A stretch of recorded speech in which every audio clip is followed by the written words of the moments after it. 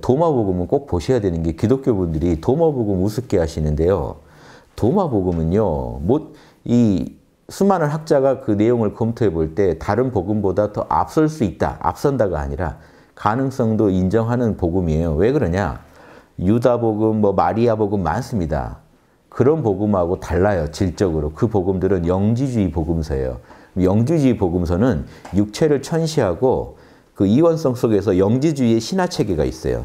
당시 그 이 우주관의 바탕을 둔 몇천 몇천 해가지고요. 우주를 나누고 우주를 다스리는 신들을 설정하고 복잡한 신화 체계가 있어요. 유, 그 유다복음, 뭐 마리아복음 다 나옵니다. 그 신화 체계가. 도마복음은 그게 전혀 안 나와요. 도마복음은 예수님의 육성만 있어요. 그냥 어떤 신화 체계 없어요. 그냥 그런데 다른 데랑 다른 게 있어요. 살아서 영생하라는 말이 많이 나와요. 도마복음에. 근데 이건 공간복음에도 있는 말이에요. 그러니까 이 말이 좀 더 나온다고 해서 영주주의로 본다는 거는 잘 이해 못 하신 분들의 입장인 거예요. 도마복음이 두려우신 분들일 거예요. 살아서 바로 영생하는 사도 얘기들이랑 다르잖아요. 이거냐? 이건 예수님이 직접 육성이라 그게 더 타당한 거예요. 만약에 예수님 육성에서 다른 말이 나오면 더 이상한 거예요. 사도랑 똑같은 말이 나오면 오히려 사도 글 뒤인 거죠. 근데 사도랑 다른 예수님이 원래 했던 말씀과 유사한 말씀이 계속 전개된다는 이렇게까지 얘기하세요. 죽음을 맛보고 나고 맛보고 나면 죽음의 신한테 끌려가 버린다. 죽기 전에 살아서 영생을 얻어야 한다. 살아서 답을 못 내면 죽은 뒤엔 답이 없다. 뭐 이런 얘기를 막 하세요. 그러니까 영생을 더 적극적으로 강조하시고 예, 살아서 답을 얻으라는 얘기를 합니다. 그리고 그 몸 얻는 법까지 얘기해요. 가, 거듭나야 갓난아이로 거듭나야 천국 간다. 그러니까 물어봐요. 어떻게 합니까? 그 방법은 그러니까 공간 복음에서는 자세히 처리 안 하죠. 바람 바람이 보이지 않는 것처럼 영으로 난 자도 보이지 않아 알 수 없어 이렇게만 말하고 가, 끝내시는데 거기서는 남녀를 하나로 합치고 위아래를 하나로 합치고 안과 밖을 하나로 합치면 새로운 손과 발과 눈이 생겨 이 얘기를 해요. 영적인 몸 만드는 법 얘기까지 해줍니다. 도마복음. 오히려 도마복음이 없다면요 이상한 거예요. 예수님은요 바로 영생 얻을 수 있다고 해놓고 어떤 구체적인 팁은 안 주고 계시는 거죠. 그러니까 실제로 사도들도 그 팁을 다 못 얻었잖아요.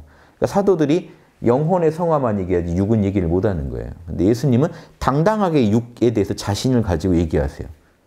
자기도 이미 살아서 이미 영적인 육을 얻었죠. 그리고 자기만 얻은 게 아니라 모세, 엘리야도 얻었다는 얘기를 하시잖아요. 그 비방이 있는 거예요.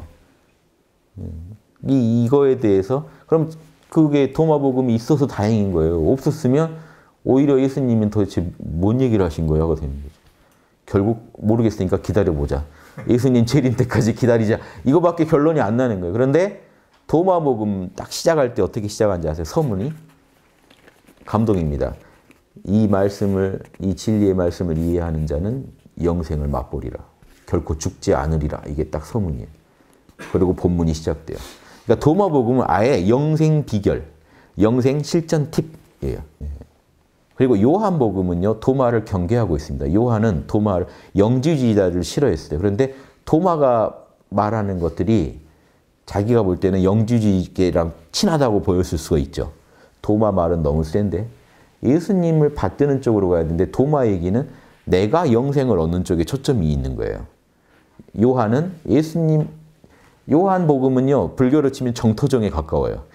예수님 이름 하나 외치고 우리 가면 예수님 따라 정토 갈 수 있다는 입장이에요. 그래서 그 영혼육의 문제도 예수님이 해결해 줘야 될 문제로 보면서도 요한복음에 풍성하게 나옵니다. 어쩔 수 없이 예수님이 하신 말이니까. 즉각 영생의, 영생을 얻을 수 있다는 말도 요한복음에 제일 풍성하게 나와요. 그러니까 근데 요한은 그거보다는 예수님이 하신 말이라 쓰긴 쓰는데 예수님의 인도로 우리가 어떻게든 천국 가는 것, 그쪽에도 초점을 두고 싶어 해요. 예수님이 우리를 위해 천국을 다 예비해 두고 우리를 데려가실 거다. 여기에 초점을 두고 싶은 사람이라 바로 갈 수 있다는 걸 자꾸 주장하는 도마가 경계된 지 요한복음에 나옵니다. 의심하는 도마 사건은. 딴 데 그렇게 안 나오는데 도마가 의심 많은 놈이라는 얘기를 요한복음에서 하는 거예요. 엿먹어라 하고 사실은 때린 거예요. 한 방. 도마 말 듣지 마세요. 그래서 요한복음을 그대로 믿으시면 안 돼요. 도마 복음하고 라이벌 관계에 있는 복음이에요. 입장이 서로 달라요.